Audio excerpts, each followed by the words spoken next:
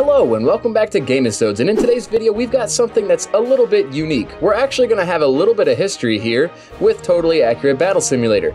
In the new Renaissance update there's a unit called the Musketeer unit. This unit fires a gun, it fires a musket.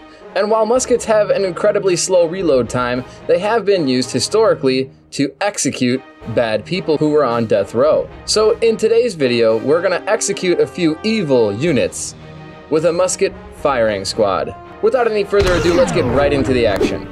A typical firing squad consists of about 12 musketeers. So here we have lined up our 12 musketeers. And let's execute some evil, bad death row inmates. How about a squire? Let's try that first. Easy work. Man, he must have been a bad squire. Let's see if our musketeer firing squad can take out a knight. Bam. Sayonara. The evil king who took too many taxes from his people is now subject to execution on death row. Will they take him out? Oh my gosh, they took out the king in one shot. What's the point difference there? Okay, they do have twice as many points. So that's, uh, that should be a given. What about, uh, what about the evil mammoth? Can they take out an evil mammoth? Uh-oh, they gotta reload now. They're gonna take too long to reload, I bet.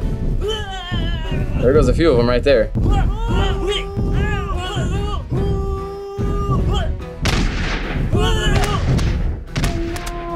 Oh, they did it! No way! A few of them got to reload and they actually took out the evil mammoth. Although a few firing squad members were lost. Let's see if the firing squad can take out the evil minotaur. Oh, they shot him right as they were about to get to him. Oh my gosh. See ya, minotaur. Can they take out a god? Firing squad versus Zeus. Evil Zeus, of course. He's on death row. Yes, they can. Can they take out the evil Viking Jarl? Peace out. What about the evil Monkey King? Oh! They missed! Uh-oh! The firing squad is uh, a bit in trouble here.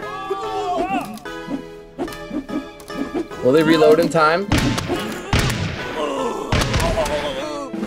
Yes, they did. They reloaded in time. The Monkey King is gone but a few of our firing squad members were killed. Alright, and the moment you've all been waiting for. Firing squad versus executioner. Yeah, that was uh, pretty straightforward there. Let's see if they can take out some of the giants. Here's the samurai giant. Let's see if they can take out the evil samurai giant. Not with one shot. Oh, wow.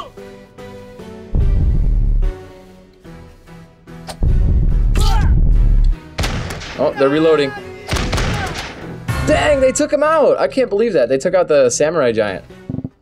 All right, let's try the tree giant. Not two of them.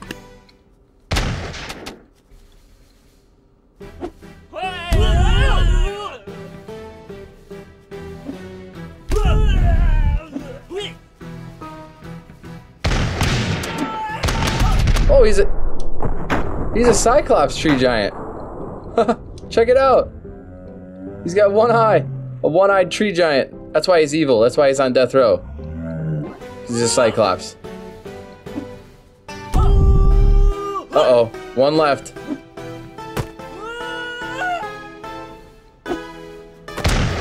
Misses his shot. Oh, he's still alive. He got taken out. Looks like the tree evil tree giant wins. What about an ice giant? The evil ice giant. That didn't look like it did anything. Didn't even move back. The ice giant's just angry. He's angry that he's on death row. He has a vengeance.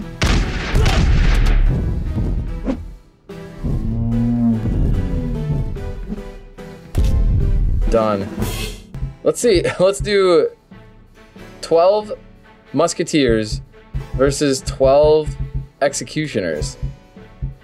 So firing squad versus an equal number of executioners.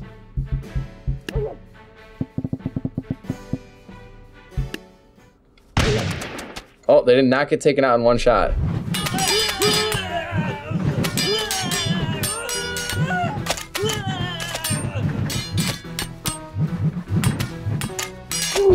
It looks like an even more old school, more historic version of execution for death row inmates.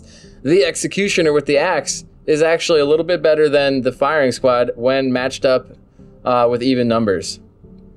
That's going to do it for today's video. It was a little bit of history, a little bit of fun. I hope you guys enjoyed it. If you did, leave a like. If you're new to the channel, smash that subscribe button. It helps me out a lot. And leave a comment. Let me know what you think of the new Renaissance faction and the Musketeer unit. Thanks, and I'll see you in the next one.